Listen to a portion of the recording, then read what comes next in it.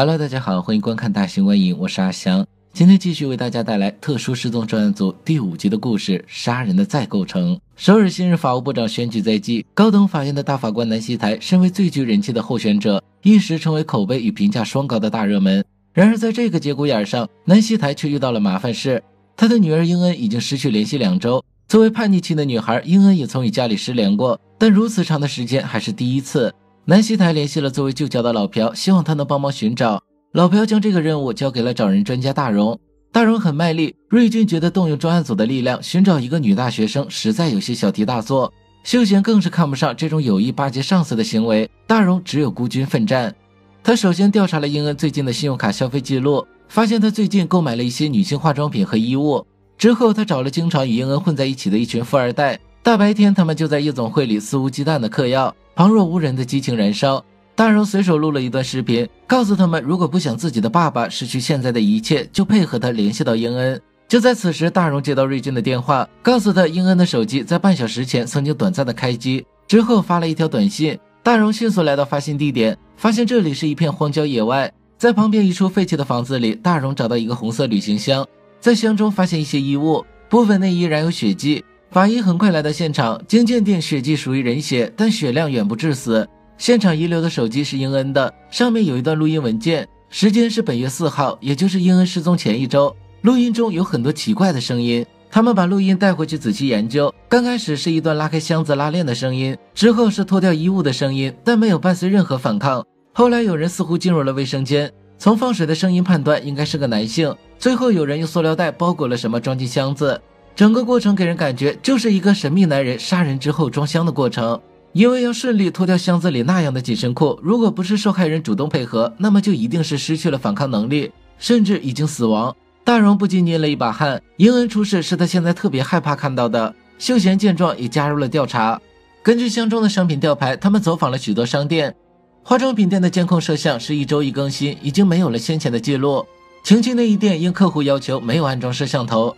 但售货员却记得购买内衣的是个男人，在出售旅行箱的店铺，秀贤根据价格推测，男人当时应该是购买了两个箱子，但要拿两个大型旅行箱走出商场，又不留下停车记录，神秘男人很可能是乘坐了公共交通，而这里停车场只有一个公车位，但上面的摄像头一个月前就坏掉了。不过停车位旁有一辆私家车，因车主出国而停滞了很久，行车记录仪很可能录下了神秘男人，于是他留了电话给保安，请他在车主回来后联系警方。这时，最后一次接触英恩的两个女孩提供了一个线索。在英恩失踪前一晚，她曾在夜总会多喝了些，为了醒酒，没有叫出租车，而是选择徒步离开。秀贤站在路边分析英恩当时的行走路线，避开不能掉头的单行道，又考虑到要过海，英恩当时一定要走到马路对面叫车，唯一的途径是走旁边的地下通道。秀贤走进通道，发现了一个长期在此露宿的流浪汉，他用一瓶清酒换取了信息。流浪汉对英恩很有印象，因为当时他手上的手链发出声响，吸引了自己，因此多看了几眼。而且他还发现英恩背后跟着一个男人。秀贤将这个信息告诉大荣。不久后，流浪汉又打来电话告诉他们，他想起那个男人之前见过，他经常夜晚从通道中走过。奇怪的是，每次经过他都会看着自己笑，笑容十分诡异。根据流浪汉的口供，英恩似乎是被这个男人抓走的。但秀贤很惋惜地说道。可惜这个流浪汉是个神志不清的醉鬼，恐怕他的话并没有几成可信度。在他说到这里时，大荣忽然串联起一些信息：消失的监控画面、醉鬼目击者、红色箱包、没有尸体的杀人案。他似乎想到一件旧案，匆忙离开。这时，秀贤接到商场保安的电话，说那个出国的车主已经回来。根据车主提供的记录仪资料，他们发现了三号时曾有过拿着行李箱的男人。在这里乘坐租车公司的车子离开，记录仪录下了租车公司的 logo。瑞俊顺利查到了这家公司。与此同时，大荣到档案室翻查旧案，发现十年前有一桩旧案，被告人金大胖涉嫌杀害并藏匿了前女友高东珠的尸体。当时有旅店住客撞见金大胖拖着红色行李箱离开，警察还在金大胖车上发现了属于高东珠的血迹。但因为这个目击者是个吸毒犯，因此证言法官没有采纳。再加上车上的血迹远不到致死量，而高东珠的尸体一直未找到，因此金大胖最终以证据不足被判无罪释放。而他的辩护律师就是南希台。大荣觉得一切过于巧合，这说不定是高东珠的家属对南希台的蓄意报复。而高东珠唯一的亲人就是他的哥哥高东浩。在大荣赶到高东浩家之前，秀贤已经根据租车公司的信息找到了这里。那天租车离开商场的正是高东浩，在他住的地方有生锈的门栓、滴水的卫生间，这些声音都与录音上的背景音很相似。秀贤似乎看到高东浩在这里杀掉英恩、装运尸体的过程，一时紧张，差点误伤了随后赶来的大荣。没多久，高东浩回到家，两人合力将他逮捕回警局。审讯过程中，高东浩开始拒不承认，直到大荣提到十年前的案子，高东浩的脸色突然变了。他得意地说：“虽然你说的很像事实，但那只不过是情景描述而已，对吗？”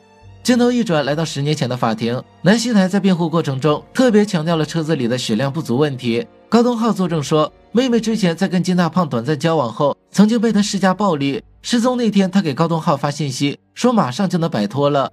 而南希台却提出，所谓摆脱不一定指的是金大胖。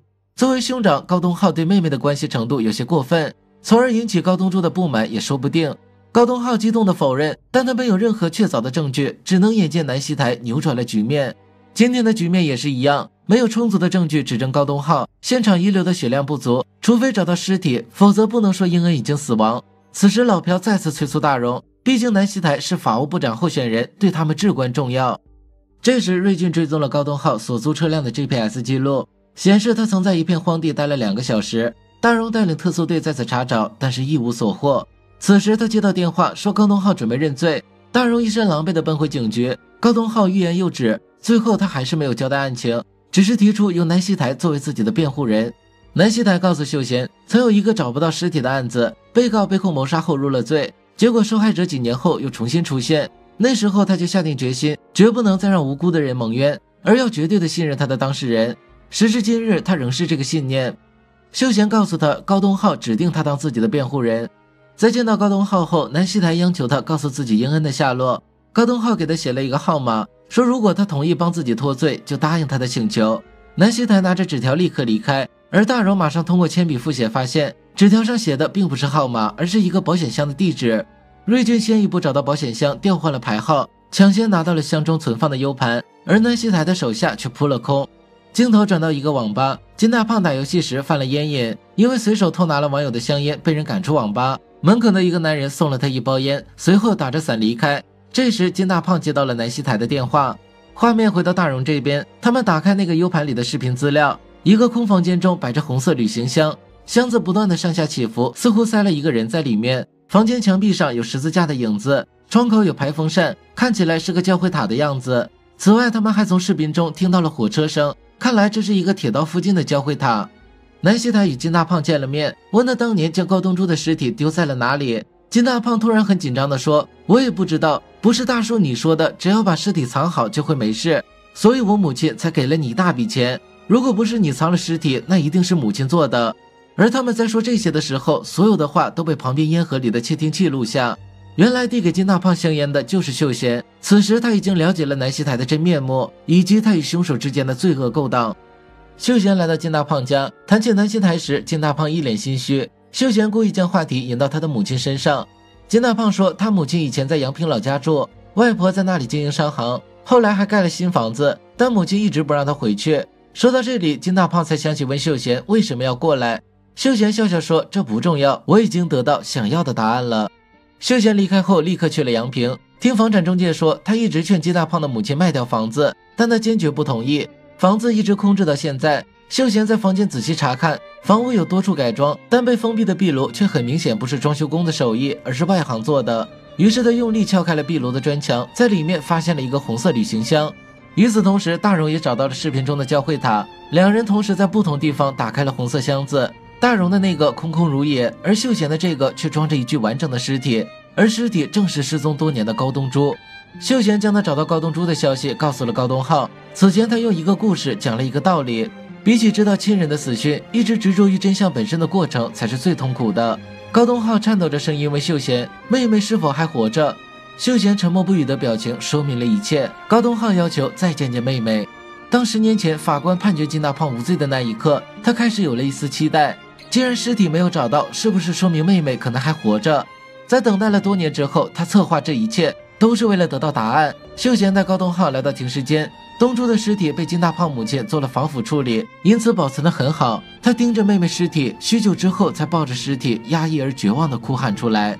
根据高东浩提供的地址，大荣找到了暂住在海边的英恩。他说自己是受到高东浩的请求才配合的，因为他的执着和渴望打动了自己。秀贤将结果汇报给南希台，他本来不准备放过高东浩，但当秀贤告诉他高东柱的尸体已经找到时，南希台表现出一丝慌张。秀贤讳莫如深地说：“对于高东浩，希望你当做什么都没有发生过，因为如果十年前的事情被重提，对你恐怕没有任何好处。”南希台沉默不语。秀贤说：“你说过到现在为止信念不改，但你的信念是什么？真的很让人怀疑。”秀贤走后，南希台大发雷霆，但为了他的仕途，也不得不放弃追究。然而，已经绝望的高东浩并没有打算放弃罪人。不久后，他就杀了金大胖。在南希台就职仪式这天，他跳下了办公楼。死前，他告诉秀贤，以南希台的身份是不可能会站上审判席的。谢谢你帮我找回了东珠。这件事过后的一天，大荣在秀贤家看到了一盘录像带。那是他在高东浩的家里找到的兄妹俩最亲密的生活录像，而在秀贤身边放着一封寄给媒体的举报信。他曾经想要息事宁人，然而此时他决定让有罪的人都付出代价。他曾经问过法律是什么，现在的他找到了答案：法律是一种武器，不能让它成为毒药。以上就是特殊案件专案组第五集的案件，接下来还会有更多精彩案件登场，希望大家继续关注，感谢支持，我们下期再见。